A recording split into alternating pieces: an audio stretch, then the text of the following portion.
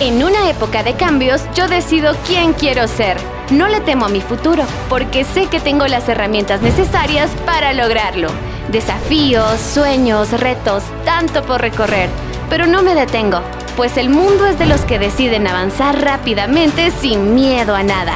El mundo está cambiando y decido ir un paso adelante.